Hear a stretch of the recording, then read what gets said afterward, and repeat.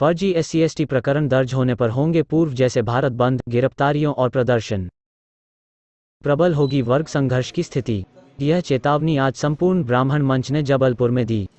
संपूर्ण ब्राह्मण मंच के सदस्यों ने आज कोविड के कारण सीमित संख्या में जाकर जबलपुर पुलिस अधीक्षक सिद्धार्थ बहुगुणा को एक ज्ञापन सौंपा, जिसमें उन्होंने पाटन थाना अंतर्गत महेंद्र एवं सत्येंद्र तिवारी पर दर्ज हुए एस सी प्रकरण को पुनर्तः फर्जी बताया है। मंच के सदस्यों और स्थानीय लोगों का कहना है कि एक अज्ञात महिला जो दमोह ज़िले से कुछ दिन पूर्व आकर एक ज़मीन पे कब्जा कर गैर कानूनी ढंग से अपना स्थानीय निवास बना रही है, उसको रोकने का प्रयास महेंद्र तिवारी और सत्येंद्र तिवारी ने किया, जिसके विरोध स्वरूप दबाव बनाने के उद्देश्य से उक्त महिला ने पाटन थाने में जाति सूचक धाराओं के तहत इन दोनों के खिलाफ शिकायत दर्ज की और थाना प्रभारी ने प्रकरण दर्ज कर लिया जबकि दूसरे पक्ष से कोई बयान या स्थानीय लोगों से कोई भौतिक सत्यापन नहीं किया गया।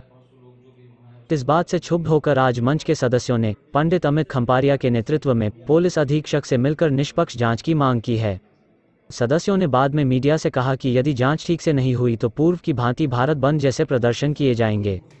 उन्होंने आंदोलन की चेतावनी भी दी। इस मौके पर पंडित अमित खंपारिया के साथ उपस्थित थे डॉक्टर पवन स्थापक डॉक्टर अरुण मिश्रा, बबलू पंडा, यदुवंश मिश्रा, अंकित तिवारी, अनिल दुबे, सत्येंद्र तिवारी, सुधाकर मिश्रा, अजय दुबे, प्रबल तिवारी, अमृत शुक्ला, जितेंद्र तिवारी और बसंत दुबे। ब्राह्मण समाज द्वारा एक ज्ञापन दिया गया था, जिसमें पाटन में एक मामला दर्ज हुआ है, जिसकी उन्होंने निष्पक्ष जाँच की मांग की है।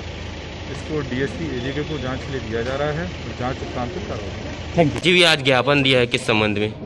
जैसा कि आप लोगों को ज्ञात है कि इसके पूर्व में भी हमने एस सी के दुरुपयोग में कई बार आंदोलन किए हैं तेईस बार गिरफ्तारियाँ दी हैं और दो बार शहर जबलपुर मध्य प्रदेश और पूरा भारत बंद कराया है। कुछ दिनों की शांति के बाद फिर उन प्रकरणों में इजाफा हो रहा है बढ़ोतरी हो रही है। अभी हाल ही में तीन चार दिन पहले पाटन में हमारे एक महन तिवारी हैं, उनको कोई अज्ञात मिला जिनको जानते भी नहीं तिवारी जी। ज़मीन का विवाद होने के कारण दमोह से बताया, लोगों ने कि दमोह से कोई महिला के रह रही उसने शिकायत करी और उसके बुनियाद पर पाटन थाने में उनके खिलाफ एस सी का मामला दर्ज किया गया है। हम लोग माननीय एसपी महोदय से आज मांग की एसपी साहब ने पूर्ण निष्पक्ष जाँच करने के आदेश दिए हैं। अगर जाँच में एक परसेंट भी अगर सत्यता होगी, तभी यह प्रकरण दर्ज होगा, नहीं तो पूर्णतः समाप्त होगा। और अन्यथा अगर जाँच नहीं हुई तो हम लोग इसके खिलाफ फिर से वैसे पूर्व की भांति आंदोलन करेंगे। जय हिंद, जय भारत।